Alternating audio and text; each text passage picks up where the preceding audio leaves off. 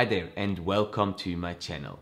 My name is Matthias and I'm an underwater cinematographer and filmmaker based in Zurich, Switzerland. Today I want to talk to you about why I love the Paralenz Underwater Camera Plus. Coming up.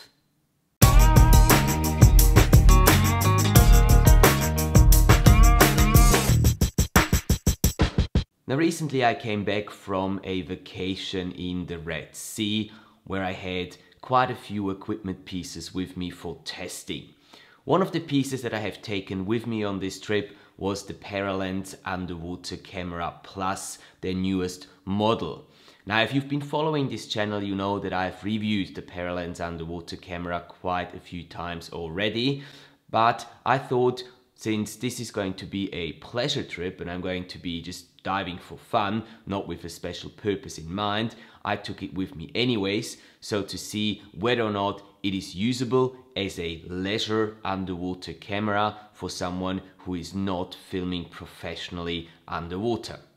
So I don't really want to talk about the accessories that come with the camera, the app and all that sort of stuff. Today I really want to concentrate on the quality and the ease of use of this camera, the Paralenz Underwater Camera Plus. If you're interested in all the other aspects of this camera, please feel free to check out my other videos, my other reviews that I made regarding the Paralenz cameras. I'll link them up here somewhere, so feel free to go and check them out as well. My dive buddy Pascal and myself we're enjoying two fantastic weeks with awesome dives in the Red Sea in the area of Marsa Alam and then on a liveaboard going down to the area of St. John's. We've used this time and we've used most of the dives to take the Paralenz Underwater Camera Plus with us and just shoot a few bits and pieces here and there. We didn't really have something specific in mind, we just wanted to test the camera in various conditions and see whether or not this is usable for someone who does not really have a lot of experience with filming underwater.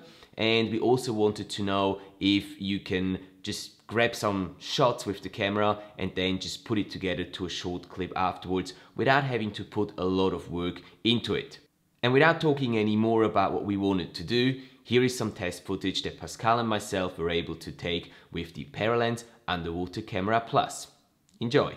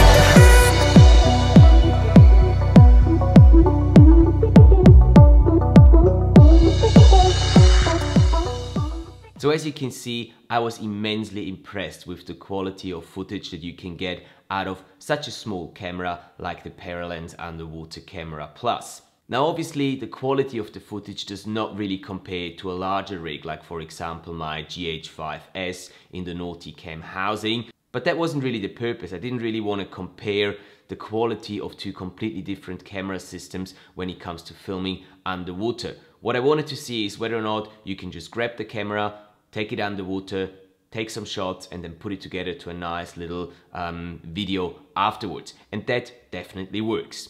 As I've mentioned in my previous videos, the um, use of the camera is very intuitive. I really enjoy how it gives you a feedback, a vibration feedback when you turn the camera on, when you start recording, all that sort of stuff. That's very, very handy.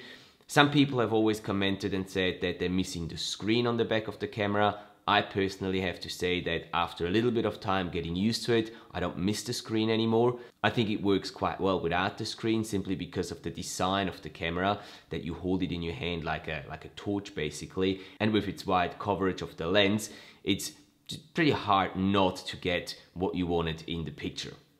Also, I was quite impressed that um, my dive buddy Pascal, who has not done any underwater filming previously, was able to just grab the camera. I was able to explain him how to use it within two minutes and he was off and shooting his own videos while I was shooting with my larger rig underwater. So that was proof to me that this camera really is usable for someone who has never done any underwater filming beforehand and that even someone who has got no experience with filming underwater can get some decent shots with their camera.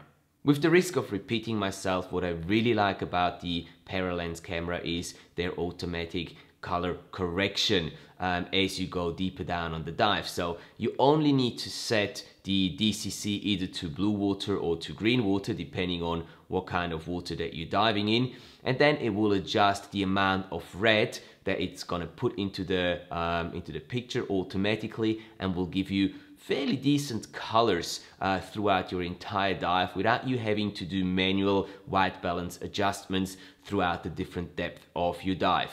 And that is very, very handy. Obviously, there's also some things that I don't really like about the quality of the footage. One of it is that in my opinion, most of the footage is a little bit oversaturated. And unfortunately, there is no setting that you can change inside the camera to adjust for that. So what you'll need to do is once you've bring the footage into your editing software, whether that be Premiere Pro, um, Final Cut or whatever you're using to edit your videos, you will need, in my opinion, to bring down the saturation um, a little bit, maybe even the contrast, because I think that it is just a little bit over the top as it comes out of the camera. Another thing that I'm not particularly happy with is if you're trying to shoot against the sun underwater, the camera really struggles with that. But that's something that a lot of cameras have, especially small action cameras with the smaller sensor size and less dynamic range. So that was to be expected really.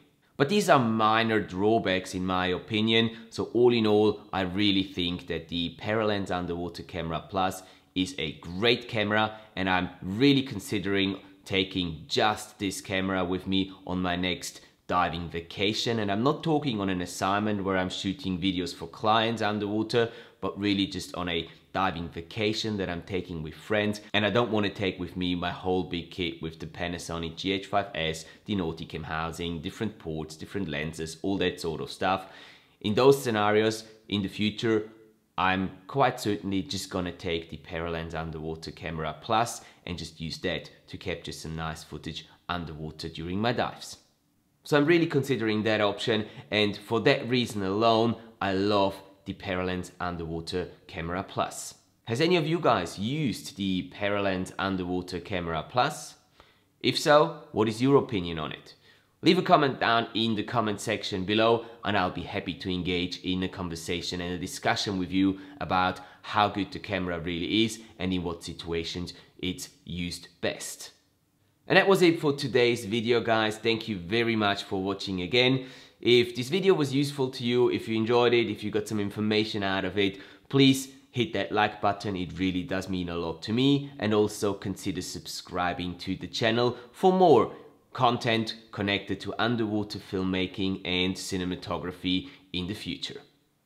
Thanks again for watching and I will see you next Sunday.